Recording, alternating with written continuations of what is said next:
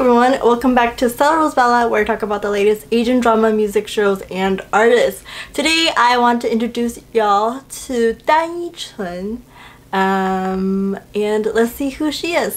So she was born on December 23rd, 2001. Yes, 2000's baby. Oh my goodness, now they're like in their 20s.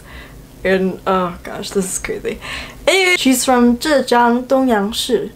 And based on what I researched about her, um, I guess her love of music came from her mom. Um, I guess her mom's into like music and singing, so it sort of like influenced her and like getting into music. Apparently when she was in school, she was very involved with like singing competitions and everything. She competed in all these different competitions and she came in like second place. 2018, she participated in a show called 我想和你唱歌 and she sang with Li Jian.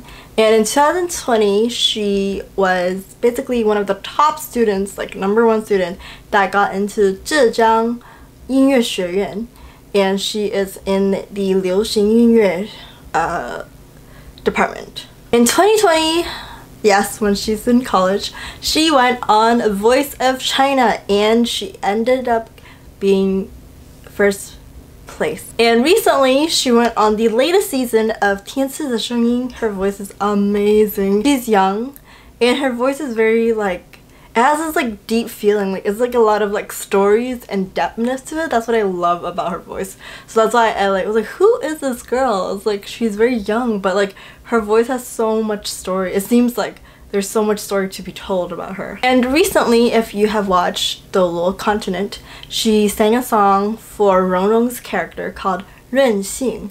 Uh, that is her. Um, I decided to do a video about her because she's one of the new singers that I haven't, I don't know about, but I love her voice.